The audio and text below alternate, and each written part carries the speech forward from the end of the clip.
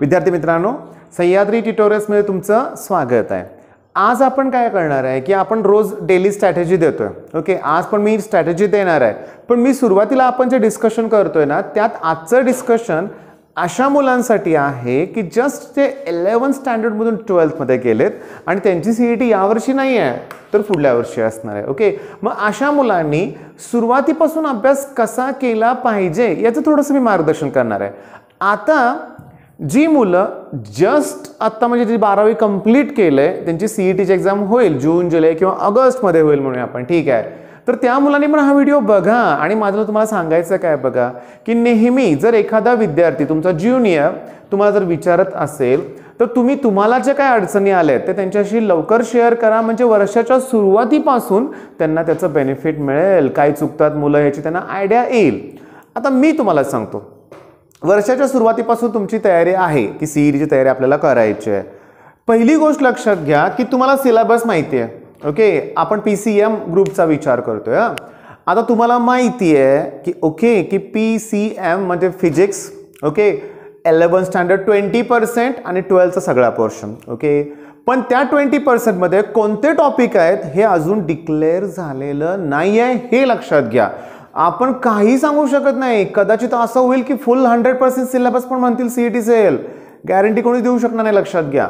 Okay आत्तापर्यंत काय होतं की ट्वेंटी पर्सेंट कुठला टॉपिक आहे त्याची नावं वगैरे सह देतील तुम्हाला. मग आपण काय करूया की सिलेबसमध्ये ट्वेल्थच्या सिलेबसवरच फोकस ठेवूया. ओके आता असं आहे की अभ्यास करायचा आहे कसा? बघा तुम्हाला फिजिक्स केमिस्ट्री मॅथ्स आपण विचार करूया बघा. की तुमच्या आता कसं आहे की ऑनलाईन क्लासेस सुरू होतील. आता आमच्या इथं जे सगळ्यात मोठं कॉलेज आहे वाय सी कॉलेज तर त्यांनी मुलांना त्यांनी नोटीस दिलेत की चार मे पासून कॉलेजमध्ये ऑनलाईन क्लासेस सुरू होणार आहेत. ओके मग इथं थोडीफार तुम्हाला आयडिया येते का? की कॉलेजेस सुरू होणार नाही आहेत जे होणार आहेत ते ऑनलाईन होणार आहेत. याचा अर्थ प्रत्येकाकडं नेट पाहिजे. अँड्रॉइड फोन पाहिजे. आणि सध्याच्या काळात बा विद्यार्थी मित्रांनो तुमच्याकडे बऱ्याच जणांना स्मार्टफोन आहेत तरच तुम्ही हे व्हिडिओ बघता हे मला माहिती आहे.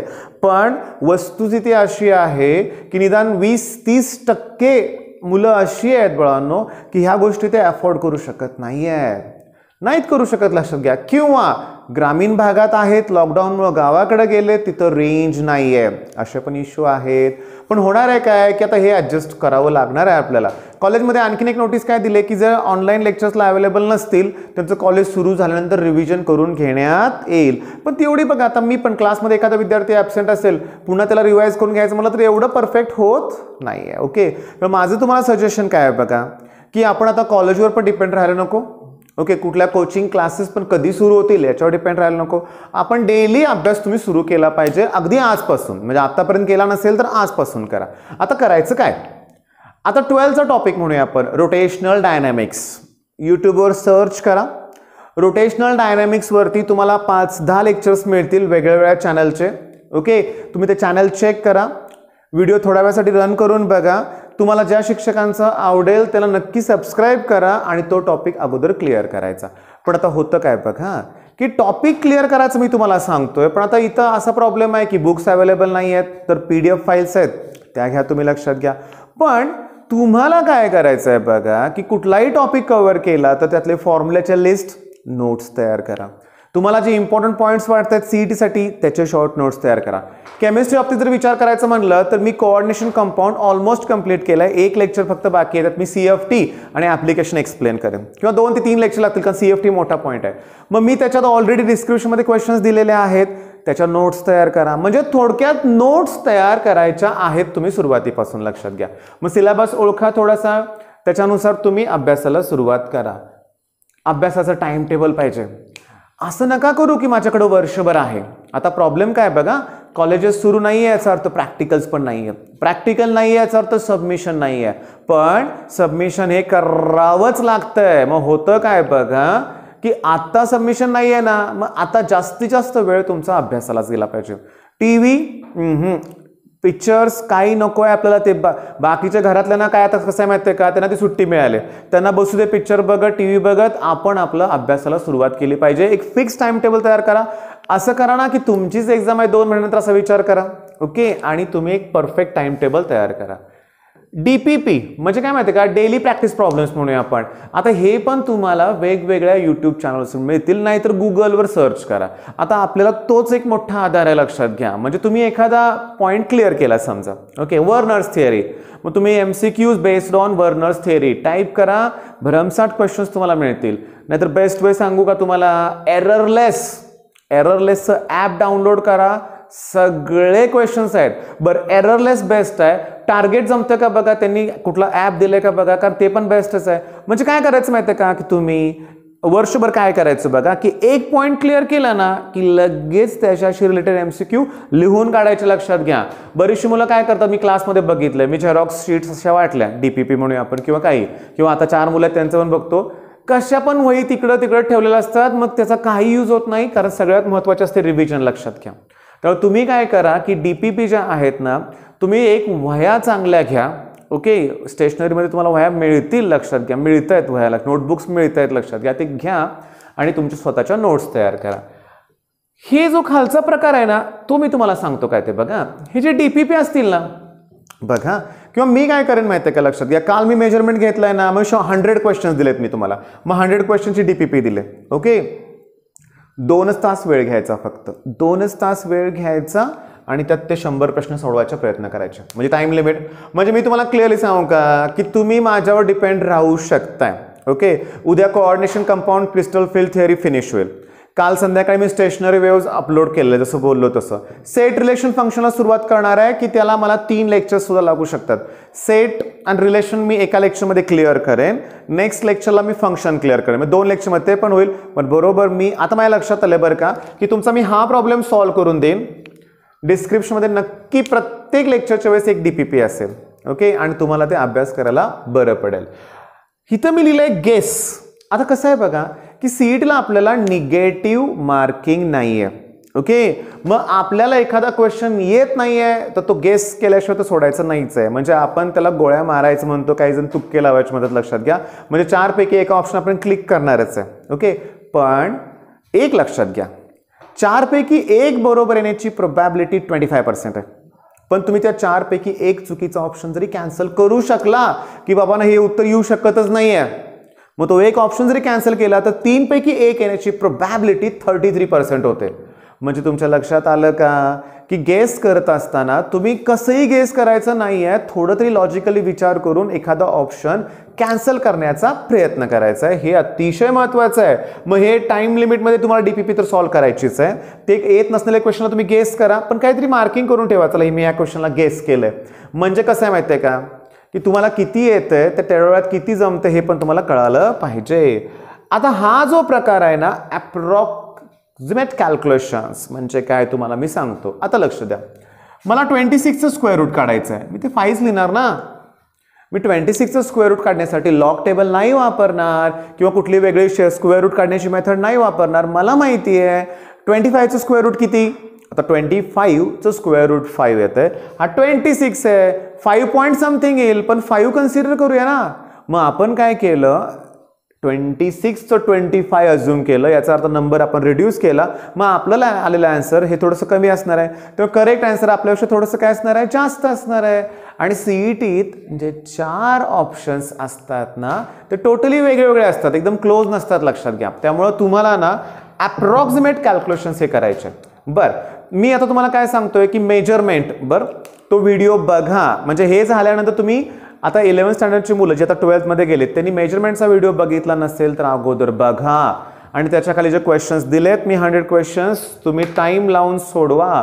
पण ते सोडवत असताना ओळीनं सोडवायचे मी मान्य करतो. पहिला क्वेश्चन मी घेतला. ओके मी वाचला मला येतोय. पण समजा त्याला सोडवण्यासाठी एक मिनिटापेक्षा जास्त वेळ लागत असेल तर त्याला आपण स्किप करायचं लक्षात घ्या. तो स्किप करायचा आहे मार्किंग करून ठेवा त्याला. नंतर सोडवायचा आहे म्हणजे तुम्हाला काय करायचं आहे टाईम लिमिट आहे ना. त्याच्यामुळं हा अतिशय इम्पॉर्टंट आहे. मी बघितलंय. मी काय करतो? एक्झाम आता ठीक आहे. पेपर दिलेत. मी बघतो त्यांचं काय चाललंय. अरे पहिल्याच प्रश्नावर अडकून बसले असतात मुलं. असं विचार करत असतात. ते पेन काय फिरवत असतात? लक्षात घ्या. असं असं करत असतात. एवढा वेळ नसतो. सीईटीत हे लक्षात घ्या तुम्ही. वर्षभर जर टाइम लिमिट लावून जर एमसीक्यू सॉल्व्ह केले तर सीईटी सगळं सोपं जाणार आहे. या टेक्निक्स काय सीईटीसाठी वापरायचे नाहीत आपल्याला सुरुवातीपासून वापरायचे आहेत. स्किप करणं वगैरे.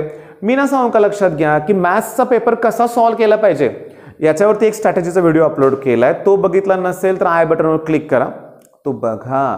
तो बघा. तो ट्वेल्थच्या मुलांसाठी आहे पण तुम्ही पण बघा. मी त्यात अगदी प्रॉपर टाइम मॅनेजमेंट करून दिलंय. सगळ्यात काय महत्त्वाचं असतं माहिती आहे का सीईटीत की वेळ शिल्लक राहणं गरजेचं असतं.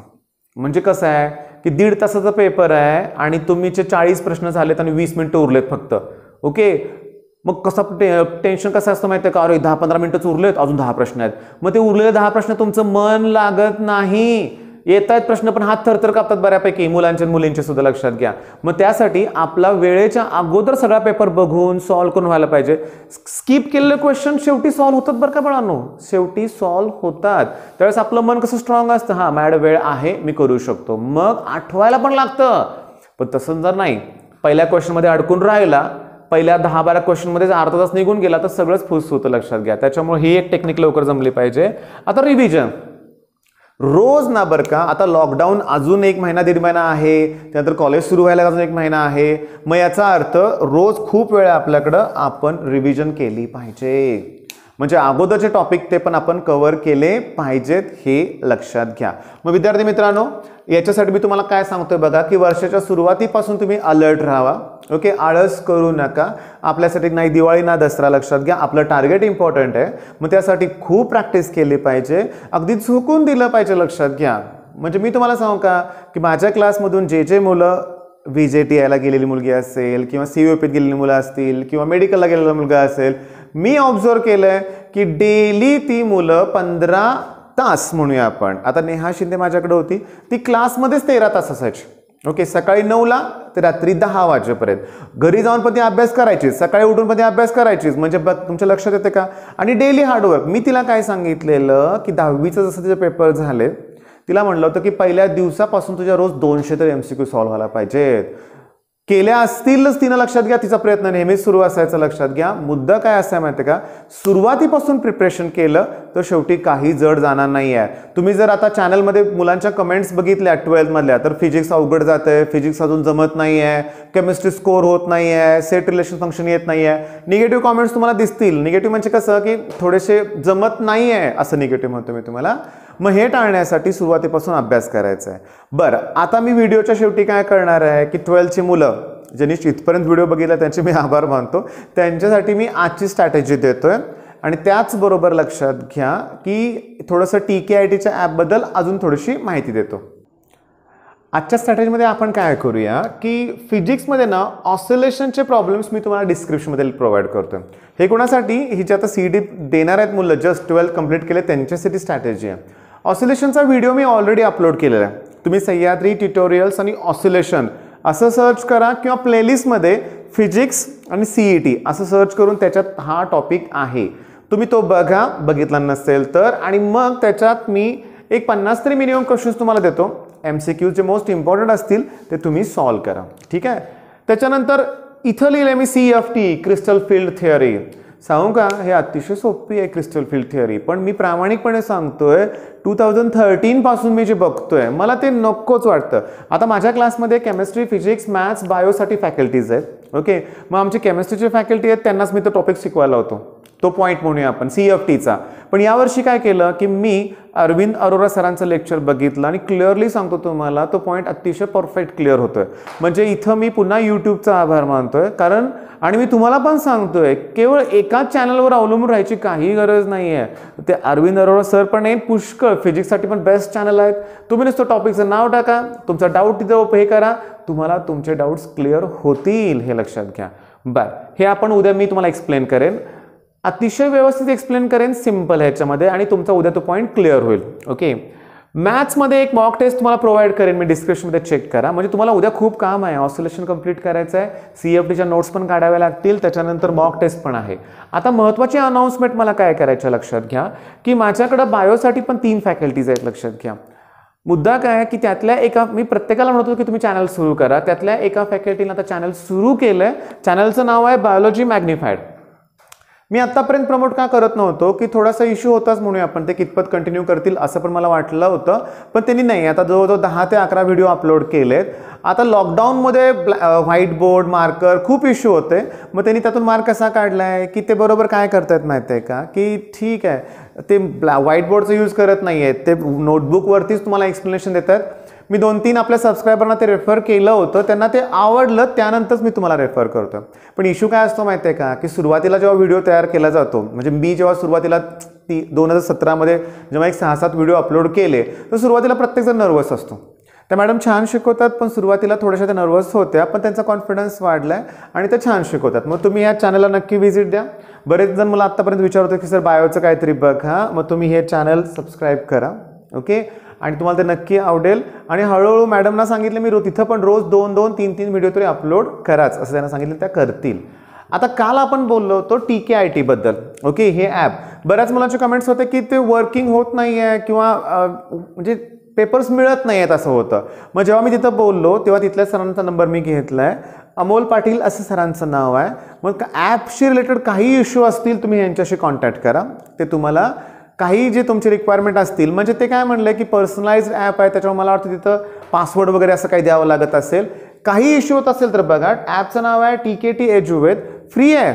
त्यात तुम्हाला काय पे करायचं नाही आहे सध्या तिथं दोन टेस्ट का तीन टेस्ट त्यांनी अपलोड केलेत.